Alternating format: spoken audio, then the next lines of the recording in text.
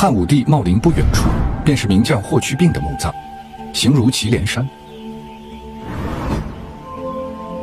当年山上的石刻气势依旧，纪念和陪伴着中国历史上的少年将军。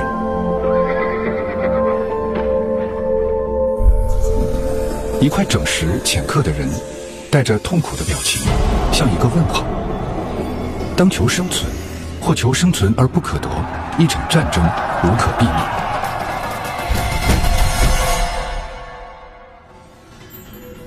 中原肥沃的土地吸引来了怪兽。表情透露着贪婪与凶残。羊已入兽口，弱肉强食。匈奴是西汉前期在北方草原上兴起的游牧民族，他们控制着西域，强悍的骑兵屡次进犯汉边界，这是令人畏惧的对手。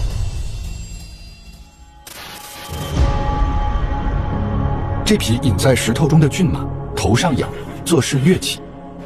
就像公元前一四零年的汉朝，十六岁的汉武帝刘彻即位，霍去病出生。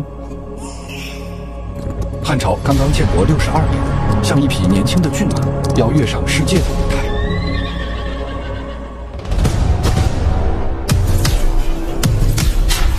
体型粗壮的石人掐着一只凶猛的野熊，昭示着战争的惊心动魄。骠骑将军霍去病在千里大漠中闪电奔袭。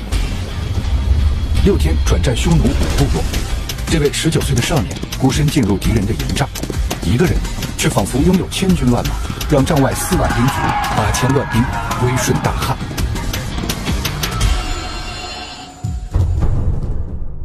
一匹威武的战马，气宇轩昂，凛然难犯。马腹下的匈奴人仰卧在地，右手持剑，左手握弓，垂死挣扎却无法动弹。公元前一一九年，二十一岁的霍去病祭天封礼于狼居胥山，祭地善礼于孤眼山。之后，霍去病一直打到瀚海，也就是今天的俄罗斯贝加尔。经此一役，匈奴远遁，漠南无王体，汉朝从此可以直面更辽阔的世界。司马迁形容这闪电般存在的生命：直取塞，广河南，破祁连。通西国，弥北国。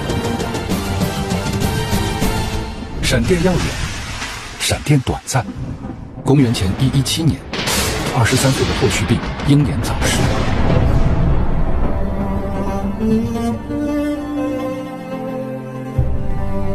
石雕无声，荒野长吟。这些拙朴粗犷的石刻，不同于后世的写实风格，是汉代艺术的杰作。石不朽，磐石之志永存。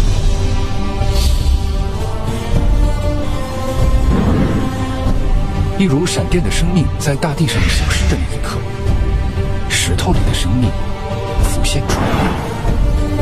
一块岩石刀刀划过，时间在他们身上碰撞，便镌刻出了故事。